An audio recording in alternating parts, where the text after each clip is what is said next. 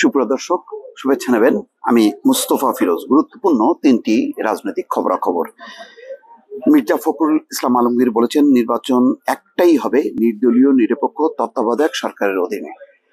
আবারও মির্জা ফখরুল ইসলাম আলমগীর তার দৃঢ়তা প্রকাশ করলেন এই বক্তব্যের মধ্য দিয়ে।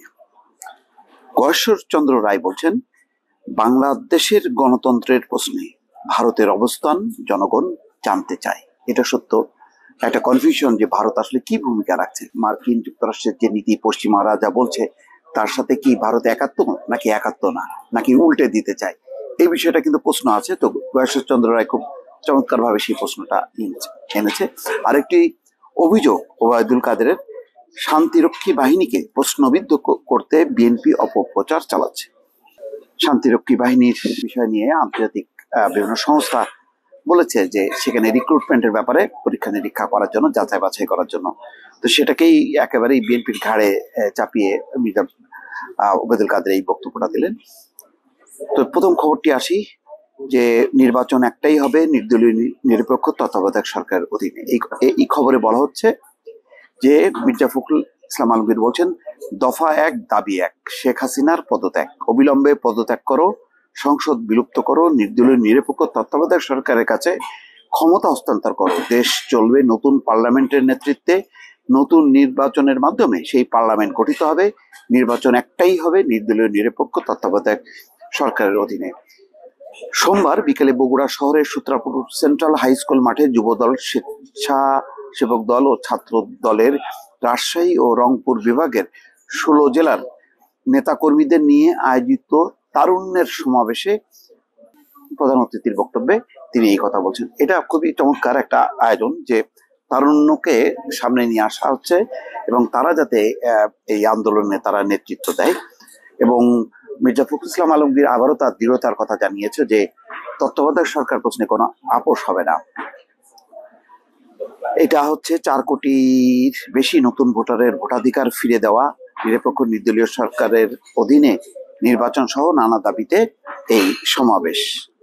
বিশাল সমাবেশ, দর্শক দেখতে পাচ্ছি একটি স্টিল ছবি প্রথম আলোতে।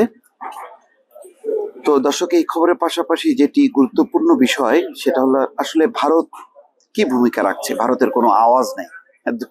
দুই হাজার চোদ্দ সালে সুজাতা সিং এর আওয়াজ যেমন ছিল, যে এরশাদকে নিয়ে আসার ব্যাপারে লবি করছিল। এবার কিন্তু আঠারো সালে চুপচাপ থাকলেও তারা পর্যবেক্ষক পাঠিয়ে আবার সমর্থনও দিয়েছিল। চোদ্দ আঠারো বলা যায় যে একেবারে পরিষ্কার যে ভারত সাপোর্ট করেছিল, কিন্তু আগামী নির্বাচন কেমন হবে? এইভাবেই চলবে? তাহলে পশ্চিমারা যে সুষ্ঠু নিরপেক্ষ নির্বাচনের কথা বলছে, তার সাথে কি ভারত একাত্ম নয়? এই প্রশ্নটা কিন্তু বারবার সামনে আসছে। বাংলাদেশের গণতন্ত্রের প্রশ্নে ভারতের অবস্থান জনগণ জানতে চায় বলে মন্তব্য করেছেন বিএনপির স্থায়ী কমিটির সদস্য গয়েশ্বরচন্দ্র রায়। তিনি ভারতের উদ্দেশ্যে বলেন, আপনারা আমাদের নির্বাচনে পাশ করিয়ে দেবেন তা নয়। গণতন্ত্রের প্রশ্নে সুস্পষ্ট অবস্থান নেবেন কিনা তা বাংলাদেশের মানুষ জানতে চায়। চমৎকার বক্তব্য। তিনি নয়াপল্টনে এক অনুষ্ঠানে এই কথা বলছেন। বলছেন, ভারত একটি গণতান্ত্রিক দেশ। ভারতের গোয়েন্দা সংস্থা সহ এখানে যারা আছেন, তারা দিল্লিতে খবর পাঠান, জনগণের চোখের ভাষা, মনের ভাষা বুঝতে শিখুন। ভারত একটি গণতান্ত্রিক দেশ, তার পাশে বাংলাদেশ গণতন্ত্রবিহীন। যার জন্য এই দেশের জনগণ ভারতকে দায়ী করে, এ কথা স্পষ্ট করে বলে দিলাম। এটা চমৎকার বলেছে যে ভারত একটা গণতান্ত্রিক দেশ হিসাবে তাদের নির্বাচন নিয়ে কোনো প্রশ্ন থাকবে না। সেখানে একটা গণতান্ত্রিক ব্যবস্থা থাকবে। আর তার পাশে গণতন্ত্রহীন অবস্থায় বাংলাদেশ ওই চোদ্দ আঠারো মতন নির্বাচন করে পার হবে, এটা একেবারেই সামঞ্জস্যপূর্ণ না। এখানেই ভারত আর বাংলাদেশের মধ্যে পার্থক্য হয়েছে। যদিও ভারতের গণতন্ত্র নিয়ে এখন যথেষ্ট পরিমাণ প্রশ্ন থাকলে অন্তত নির্বাচন নিয়ে এখন কোনো প্রশ্ন নেই। গয়েশ্বরচন্দ্র বলছেন ভারতীয় দূতাবাসের কর্মকর্তাদের উদ্দেশ্যে ভারত সরকার ভারতের রাজনীতিবিদদের বলেন, বন্ধুত্ব কি শুধু শেখ হাসিনার সঙ্গে করবেন? বন্ধুত্ব কি শুধু আওয়ামী লীগের সঙ্গে করবেন? নাকি বাংলাদেশের আঠারো কোটি জনগণের সঙ্গে করবেন? আঠারো কোটি মানুষের সঙ্গে যদি ভারতের বন্ধুত্ব হয়, সেটাই হলো প্রকৃত বন্ধু। সেটা মর্যাদাপূর্ণ ও টেকসই হবে, নতুবা একজনের সঙ্গে বন্ধুত্ব করলে কোনো লাভ হবে না। তিনি আরও বলছেন যে, একটা রাষ্ট্রের সঙ্গে আর একটা রাষ্ট্রের বন্ধুত্ব থাকবে। কিন্তু এই সরকার তো বন্ধুত্বে বিশ্বাস করে না। পররাষ্ট্রমন্ত্রী তো বলেই দিয়েছেন, প্রতিবেশীর সঙ্গে তাদের বন্ধুত্ব স্বামী স্ত্রীর মতো স্বামী, স্ত্রী আর বন্ধুত্বের সম্পর্ক কিন্তু এক নয়। আমরাও তো ভারতের সঙ্গে বন্ধুত্ব চাই। বন্ধুত্ব আমাদের দরকার, ঝগড়াঝাটি আমাদের চলে না। চমৎকার একটা, ভালো একটা মানে বাংলাদেশের বৈশ্বিক নীতি যেটা হওয়া উচিত ভারতের ব্যাপারে, সেটি বলেছেন। আচ্ছা এইদিকে আহ, ওবায়দুল কাদের কি বলছেন? আমরা একটু শুনি। ওবায়দুল কাদের বলছেন যে শান্তিরক্ষী বাহিনীকে প্রশ্নবিদ্ধ করতে বিএনপি অপপ্রচার চালাচ্ছে। আওয়ামী লীগের সাধারণ সম্পাদক ওবায়দুল কাদের বলেছেন দেশে দেশে সুনামের সঙ্গে শান্তি রক্ষায় নিয়োজিত দেশের শান্তিরক্ষী বাহিনীকে প্রশ্নবিদ্ধ করতে বিএনপি অপপ্রচার চালাচ্ছে আর এই কাজে টিআইবি কে ব্যবহার করছে। খুবই গুরুতর অভিযোগ। এটি প্রশ্ন মানে প্রমাণ সহ দাখিল না করলে এটা একটা রাজনৈতিক রেটরিক একটা হবে, বক্তব্যই হবে।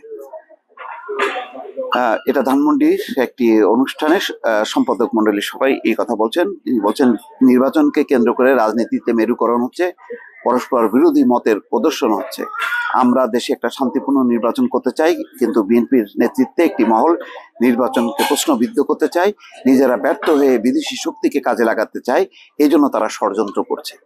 যাক, এই সমস্ত কথাবার্তা আসলে মূল বিষয় নয়, আর এই ধরনের অভিযোগ হুট করে শান্তি মিশনের ব্যাপারে এটা হলো জাতিসংঘের এবং তার অন্যান্য যেই হিউম্যান রাইটস ওয়াচ বা বাইডেনের কাছে লেখা রিপাবলিকান এবং ডেমোক্রেটদের যেই কংগ্রেসম্যানদের যেই বক্তব্য, চিঠিতে সেটা উল্লেখ করা আছে। বিএনপি আনুষ্ঠানিকভাবে এইরকম কোনো বক্তব্য দেয়নি, কিন্তু একটা গুরুতর অভিযোগ নিয়ে আসে। দর্শক, এই ছিল রাজনীতি নিয়ে, তিনটি রাজনীতির খবরাখবর নিয়ে একটু বিশ্লেষণ। ভালো থাকবেন, আল্লাহ হাফিজ।